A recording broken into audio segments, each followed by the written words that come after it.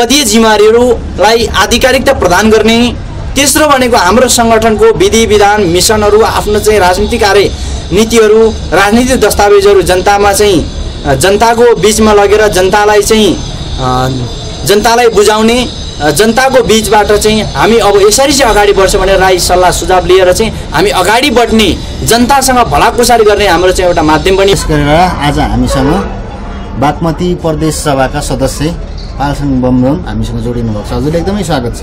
हजुर धन्यवाद तपाईँले अहिले अहिले तपाईँको पछिल्लो समयमा दिनचार्य के गरी बितिराखेको छ? अहिले पछिल्लो चरणमा हाम्रो सङ्गठनको पाँचौँ राष्ट्रिय महाधिवेशन नजिकै छ। यो पाँचौँ राष्ट्रिय महाधिवेशन सफल बनाउनलाई हामी निरन्तर खटिरहेको छौँ। यसै कामतिरै व्यस्त छौँ आजभोलि। अहिले तपाईँ जिल्लाव्यापी रूपमा जुन भ्रमण गरिरहनु भएको छ? हजुर हजुर। अहिले जनताले मूलवासी जनताले चाहिँ के बताइरहनु भएको छ? अब मूलवासी मङ्गोल मङ्गोलको राई सल्लाह सुझाव भनेको आउँदै गरेको निर्वाचनमा हाम्रो सङ्गठन सहभागी हुने कि नहुने? हामीले भोट केमा हाल्ने? भन्ने जनताको राई सल्लाह सुझावहरू र दिन दिइरहनु भएको छ। जनताबाट प्रश्नहरू आइरहेको छ। यही हो जनताको प्रश्नहरू हालको लागि। जिज्ञासाहरू चाहिँ त्यो छ? जिज्ञासाहरू हजुर अहिले अब पाँचौँ राष्ट्रिय महाधिवेशन जुन एमएलओडिजीको हुन गइराखेको छ? हजुर, हजुर। यसको बारेमा चाहिँ उहाँहरूले के बताइरहनु भएको छ नि सर? पाँच पाँचौँ राष्ट्रिय महाधिवेशनको सन्दर्भमा देशभरिका आम मूलवासी मङ्गोलहरू सबै उत्साहित छ। यो पाँचौँ राष्ट्रिय महाधिवेशन सफल बनाउन सबैको साथ र समर्थन र सहयोग हुन्छ भने सबैले चाहिँ हामीलाई त्यो विश्वास दिलाएको छ। अनि अहिले पछिल्लो समयमा जुन एमसिसीको मुद्दा एकदमै तातिएको छ हजुर हजुर होइन? हजुर यो चाहिँ तपाईँहरूले अस्ति विरोध पनि गर्नुभयो केही समयपछि। हजुर, के छ एमसिसी नेपाल र नेपाली जनताको राष्ट्रियतामाथिको अमेरिकी साम्राज्यवादीको गद्दारी एउटा चाहिँ सम्झौता हो। यो सम्झौता चाहिँ नेपालमा केही अमेरिकीको समर्थकहरू अमेरिकाको एजेन्टहरूले चाहिँ नेपालमा यो लागू गर्न खोजेको छ। र यो एमसिसीको विरुद्धमा हाम्रो सङ्गठन छ सङ्गठन उभिएको छ र हामीले अस्ति एउटा कार्यक्रम गरियो एमसिसीको विरोध सभा र बाइक र्याली अब त्योसँगै हामी अब दुई चार दिन पछाडि अहिलेको माहौल कस्तो हुन्छ आज पनि चाहिँ बन्द छ। र यो माहौलहरूलाई हेरेर हामी एमसिसीको विरुद्धमा हामी फेरि सडकमा चाहिँ उत्रिने सडकमा निस्किने हाम्रो कार्ययोजना र बन्ने छ मह्म। त्यसको लागि हामी कुराकानी गर्दैछौँ छलफल हुँदैछ हाम्रो तर एमसिसी त सरकारले जसरी पनि पास गर्ने जुन रणनीति बनाएको छ। होइन अब पास नहोला भन्ने खालको कुरा त देखिएन। यसमा तपाईँहरूको रचनात्मक भूमिका चाहिँ के रहन्छ। पास भइहालेको खण्डमा यदि पास भइहाल्यो भने हामीले यो देशमा यो देशको शासन सत्तामा बस्नेहरूको विरुद्धमा हामीले नसोचेको जस्तो सुकै हामीले चाहिँ एक्सन चाल्नुपर्ने सङ्घर्ष गर्नुपर्ने अवस्था आउँछ त्यतिखेर त्यहाँबाट उत्पन्न हुने जति पनि क्षतिहरू छ छेद विच्छेदहरू छ त्यो सबै क्षतिको चाहिँ जुन क्षतिको चाहिँ भागीदार त्यो त्यहाँबाट उत्पन्न हुने क्षतिको सबैको चाहिँ जिम्मेवार भनेको सरकार स्वयं हुनुपर्छ। तर जे सुकै जे जे भने पनि पास गर्ने त भयो नि त पास गर्ने चाहिँ यिनीहरूले भनिरहेछ। अनि अब पास भएको खण्डमा के भन्छ देशमा ठुलै दुर्घटना निम्तिन सक्ने सम्भावना छ कि? दुर्घटना निम्तिन्छ। होइन होइन अनि त अब जुन अहिले विरोधको कुराले मात्र एक दुई दिन विरोध हुन्छ त्यसपछि साम्य हुन्छ भन्ने कुरा पनि छ। के छ तपाईँहरूको चाहिँ? होइन हाम हाम्रो त्यस्तो हुँदैन। हामी एमसिसीको विरुद्धमा पहिल्यैदेखि छौँ र हामी कुनै पनि हालतमा एमसिसी स्वीकार्दैनौँ र एमसिसी स्वीकार्नुभन्दा बढो एमसिसीको विरुद्धमा लडेर हामी बलिदानी हुन पनि तयार छौँ। अब हामी अहिले भर्खर तातिएको एउटा नयाँ विषय छ। हजुर। हाम्रो मन्त्री प्रेम आलेको पर्यटन मन्त्री प्रेम आले। प्रेम आलेको बारेमा। होइन उहाँ पनि एकदम विवादित हुनुभएको छ पछिल्लो समयमा। विवादमा तानिएको। यो विवादमा तानिएको कि षड्यन्त्र भएको कि के छ तपाईँहरूको यस्तो? के छ? मन्त्री प्रेमाले अ, संस्कृत पर्यटन तथा नागरिक उड्डयन मन्त्री वर्तमान सर सरकारको। उहाँलाई खालि विवादमा तानिएको। उहाँले नेपाल र नेपाली जनताको आमूल यहाँको चाहिँ उत्पीडन वर्ग यहाँको चाहिँ जनताको नागरिकको हितमा काम गरिरहँदाखेरि के माफियाहरू के दलालहरू के तस्करहरू के चाहिँ त्यहाँबाट कमिसन खाने भ्रष्ट घुसखोरीहरू चाहिँ आफ्नो कमिसन खान रोक्ने भयो आफ्नो आउने थाकथालो रोक्ने भयो र त्यो चाहिँ सबै दुनुहरू टाल्ने भयो भनेर चाहिँ उहाँको विरुद्धमा चाहिँ खरुरोमा उत्रिएको छ। अनि तर उहाँले त्यो रफ वर्ड त बोलेको हो नि त। किन चाहिँ रफ वर्ड बोल्नु? रफ वर्ड बोल्नुपर्छ। उहाँ जस्तो सक्षम मान्छेले हिसिङले काम गर्नुभएको छ त माननीय एउटा सम्मानित व्यक्ति मन्त्रीले त्यो बोल्नु नहुने हो। तर नैतिकताको आधारमा नहुने हो। आफ्नो। पदीय हैसियतले र मान प्रतिष्ठाले त नहुने हो। तर उहाँ बोल्ने क्रममा उहाँको चाहिँ शब्दहरू चिप्लिएको मात्र हो। त्यसलाई सामान्य लिनुपर्छ। किनकि केपी ओलीहरू शेरबहादुर देवबाहरू ला यहाँको चाहिँ बाहुन छेत्री जो चाहिँ न चाहिँ आ, खस आरे नस्लाका चाहिँ मन्त्री सांसदहरू हुनुहुन्छ उहाँहरू। सरकारमा पुग्ने चाहिँ प्रधानमन्त्रीहरू हुनुहुन्छ। उहाँहरूले बोलिरहनु भएको छ त। जनताको हितमा जनताको हित विपरीतको चाहिँ भ्रम फिजाउने झुटा प्रचार गर्ने झुटा आश्वासनहरू दिने त्यो मात्र नभइकन उहाँहरूले पनि केही चाहिँ अपशब्दहरू बोल्नु भएको छन्। तर त्यसको चाहिँ खण्डन नगर्ने त्यतातिर चाहिँ ध्यान नजाने एउटा मन्त्रीले बोलेको एउटा चाहिँ सम्मानित एउटा चाहिँ माननीय मन्त्रीले बोलेको सानो शब्दमा चाहिँ खेदो खन्ने। मन्त्रीले त देश र जनताको हितमा काम गरिरहेछ नि। एउटा मन्त्री सम्मानित एउटा माननीय जस्तो व्यक्तिलाई कटु वचन गर्नु त मिल्दैन नि। कटु वचन गरेपछि त्यसको प्रतिकार त हुन्छ।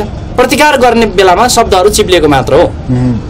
त्यसो हो भने एउटा उहाँ काम गरिराखेको व्यक्तिले उहाँ आफैले पनि आफ्नो जिम्मेवारी आफ्नो पैसा पदी हैसियत म कहाँ छु र मैले राम्रो काम गरिराखेको छु र मेरो विरुद्धमा षड्यन्त्र भइराखेको छ भन्ने कुरा त उहाँ आफैले पनि बुझ्नुपर्छ नि त होइन र।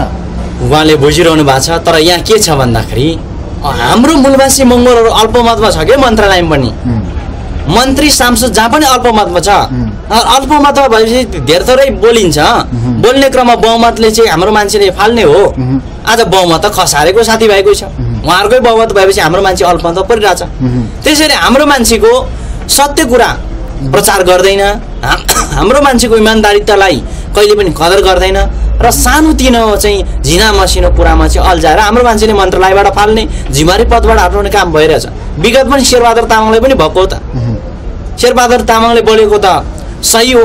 त्यो त जनताको समस्या नागरिकको समस्या जे देख्नुभयो उहाँले त त्यो हल गर्नुपर्छ भनेर पहल गर्नुपर्छ भनेर उहाँले चाहिँ कुरा उठाएको। तर त्यसलाई बङ्ग्याएर चाहिँ बढाइ चढाइ गरेर उहाँलाई चाहिँ राजीनामा दिन बाध्य बनायो। तर केपी दुईवटी सांसद भङ्ग गर्दा राजीनामा दिएन। राजीनामा दिएन। होइन? हजुर त्यो भइरहेछ। बहुमतमा हुन रहेछ अल्पमत हाम्रो मान्छे भएपछि त हाम्रो मान्छेले जे गरे नि हाम्रो मान्छे जहाँ पनि पीडित जहाँ पनि हाम्रो मान्छे अपमान विभेदमा बाँच्नुपर्ने। जतिखेर उसले मनलाई त्यतिखेर हटाइदिने।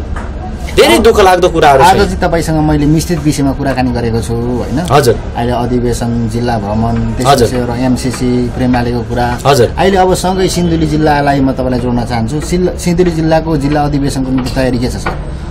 अब सिन्धुली जिल्लाको जिल्ला अधिवेशन पन्ध्रदेखि बिस दिन पछाडि गर्ने भनेर चाहिँ मैले चाहिँ निर्णय लिएको छु। र यो चाहिँ प्रस्तावहरू यो निर्णयहरू हाम्रो चाहिँ सबै जिल्लाभरिको चाहिँ नेतागण साथीहरू ने, ने कार्यकर्ताहरूसँग चाहिँ छलफल गरेर हामी निष्कर्ष निकाल्छौँ। अ, निष्कर्षमा हामी मितिहरू तयार दोलखा गर्छौँ जिल्लाको त तोकिएको छ। दोलखा जिल्लाको तोकिएको छ अरू अरू जिल्लाको पनि तोकिने क्रम जारी छ। तर सिन्धुली जिल्लामा हुन्छ। मह्म। महादेशन हामी गर्छौँ। अहिले अब सिन्धुली जिल्लाको समग्र एमएनओडिजिजीको जुन सङ्गठन विस्तार कस्तो भइराखेको छ? सिन्धुली जिल्लामा राम्रै छ। कहाँ कहाँ कतिवटा ठाउँमा अहिले सिन्धुली जिल्लाको नौवटा स्थानीय तह उनासीवटा वडा वडामा चाहिँ तपाईँको प्र प्रायः सबै ठाउँमा चाहिँ प्रेसिडेन्ट चाहिँ हामीले पुऱ्याइसकेका छौँ।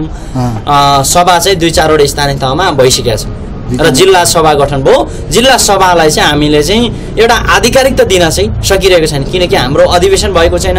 अधि अधिवेशन भएपछि हाम्रो महाधिवेशनले चाहिँ त्यसलाई चाहिँ एउटा आधिकारिकता प्रदान गर्ने त्यो हाम्रो आजसम्म भएको छैन। त्यो भएपछि हाम्रो आधिकारिकता प्रदान भएपछि सिन्धुली जिल्ला व्यापक रूपमा अगाडि बढ्छ। अधिवेशन गरिरहँदाखेरि तपाईँहरूको अधिवेशन त के छ तयारी?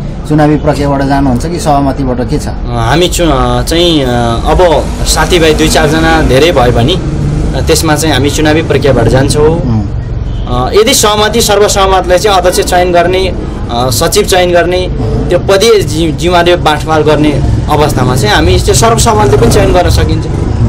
अब अन्तमा बताइदिनुहोस् जो देश विदेशबाट हेरिरहनु भएको छ पाँचौँ राष्ट्रिय महाधिवेशन एकदमै नजिक आएको छ हजुर, हजुर, नजिकै। उहाँहरूलाई एकदम बताइदिनुहोस् कि अब अधिवेशन चाहिँ एकदमै कसरी चाहिँ हामीले लान सकिन्छ भनेर एकचोटि बताइदिनु सर यस्तो। यो जिल्ला सङ्घ प्रदेशको चाहिँ अधिवेशन हुन्छ।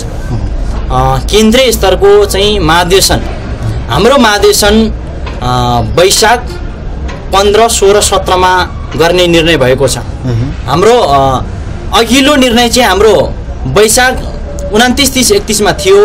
तर अहिले चुनाव पनि नजिकैको कारणले गर्दा चुनाव वैशाख तिसमै गर्ने भएकोले हामीले समय मिति अगाडि सारिएको छ। र यो राष्ट्रिय महाधिवेशन विशेष गरी यो राष्ट्रिय पाँचौँ राष्ट्रिय महाधिवेशन चाहिँ मूलवासी मङ्गोलहरूको एकताको सन्देश देश तथा विदेशमा दिनको लागि एउटा चाहिँ यसको चाहिँ उद्देश्य। अर्को भनेको यो महाधिवेशनबाट हाम्रो चाहिँ सङ्गठनको पदीय जिम्मेवारीहरूलाई आधिकारिकता प्रदान गर्ने तेस्रो भनेको हाम्रो सङ्गठनको विधि विधान मिसनहरू आफ्नो चाहिँ राजनीतिक कार्य नीतिहरू राजनीतिक दस्तावेजहरू जनतामा चाहिँ जनताको बिचमा लगेर जनतालाई चाहिँ जनतालाई बुझाउने जनताको बिचबाट चाहिँ हामी अब यसरी चाहिँ अगाडि बढ्छ भनेर राई सल्लाह सुझाव लिएर चाहिँ हामी अगाडि बढ्ने जनतासँग भलाकुसारी गर्ने हाम्रो चाहिँ एउटा माध्यम पनि हो। त्यो त्यसमा पनि हाम्रो चाहिँ अ, महाधिवेशन महाधिवेशनको उद्देश्य त्यसमा रहन्छ। अर्को भनेको त्योसँगै यो पाँचौँ राष्ट्रिय महाधिवेशन चाहिँ विशेषता आजसम्म मूलवासी मङ्गोलहरूमाथि भएको विभेद दमन अत्याचारलाई चाहिँ चिरफार गर्दै मूलवासी मङ्गोल भनेको यो भनेर विशेषता सबै चाहिँ विश्वभरिका आम उत्पीडिन मूलवासी मङ्गोलहरूलाई चाहिँ एउटा राजनीतिक चेतना राजनीतिक सन्देश दिनको लागि हामीले यो पाँचौँ राष्ट्रिय महाधिवेशन गर्दैछौँ।